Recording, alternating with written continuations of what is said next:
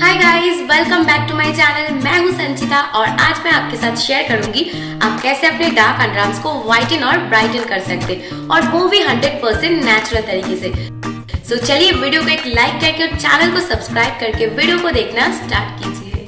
तो dark underarms को व्हाइटन बनाने के लिए आपको बस फॉलो करना है दो सिंपल स्टेप जिसका पहला स्टेप है स्टीमिंग तो सबसे पहले आप एक छोटा सा टावल लेकर उसे गर्म पानी में डिप करके अपने अंडरआर्म्स को इस तरह से स्टीम दीजिए दो से तीन मिनट तक। इस तरह से अंडरआर्म्स को गर्म पानी से स्टीम देने से अंडरआर्म्स के जो पोर्स है वो ओपन हो जाएँगे, जिससे आपके अंडरआर्म्स के जो डार्कनेस है वो जल्दी रिमूव हो जाएगा।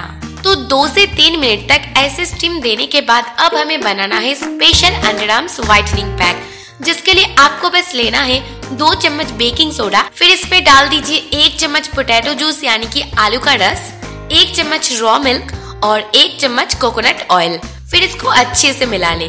तो हमारा अंडरआर्म्स व्हाइटनिंग पैक रेडी है। अब इस पैक को लेकर अपने अंडरआर्म्स पर इस तरह से अप्लाई कर लीजिए। और इसे अप्लाई करने के बाद आधा नींबू लेकर इस तरह से अपने अंडरआर्म्स को रब कीजिए दो मिनट तक। गाइस यहाँ पर मैंने अंडरआर्म्स व्हाइटनिंग पैक बनाने के लिए जो जो इंग्रेडिएंट्स को मिला है, वो एक साथ मिलकर एक नेचुरल ब्लीच की तरह काम करता है, जो आपके अंडरआर्म्स के डार्कनेस को दूर करने के लिए बहुत ही सही है। और इस तरह से लेमन को अंडरआर्म्स पर रब करने से आपके अंडरआर्म्स के कालेपन और भी जल्दी दूर हो जाएँगे।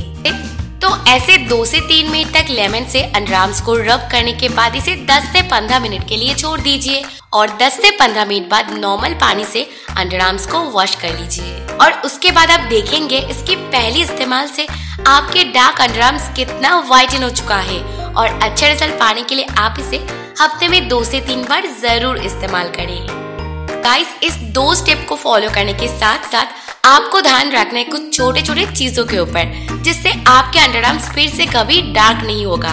जैसे कि आप कभी भी अंडरआर्म्स के हेयर रिमूव करने के लिए हेयर रिमूवल क्रीम का इस्तेमाल ना करें। इसके बदले आप रेजर यूज़ कर सकते हैं, या फिर आप वैक्सीन भी कर सकते हैं। नंबर टू आप अपने अंडरआर्म्स पर डीओ का इस्तेमाल कभी ना करें। उसके बदले आप यूज़ कर सकते हैं roll on deo number three नहाने के टाइम आप अपने बॉडी के साथ साथ अंडरआर्म्स को भी लूफे के मदद से स्क्रब ज़रूर कीजिए।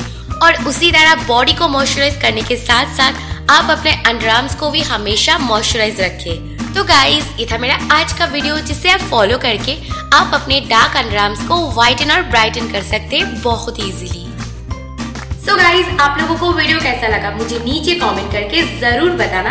और अगर आप लोगों को वीडियो अच्छा लगता है तो प्लीज़ वीडियो को एक लाइक कर देना। मेरे चैनल को भी सब्सक्राइब कर लेना इस तरह की और भी अच्छी अच्छी वीडियोस को देखने के लिए। तो चलिए, मैं संचिता आपसे मिलती हूँ नेक्स्ट वीडियो में। तब तक के लिए टेक केयर एंड बाय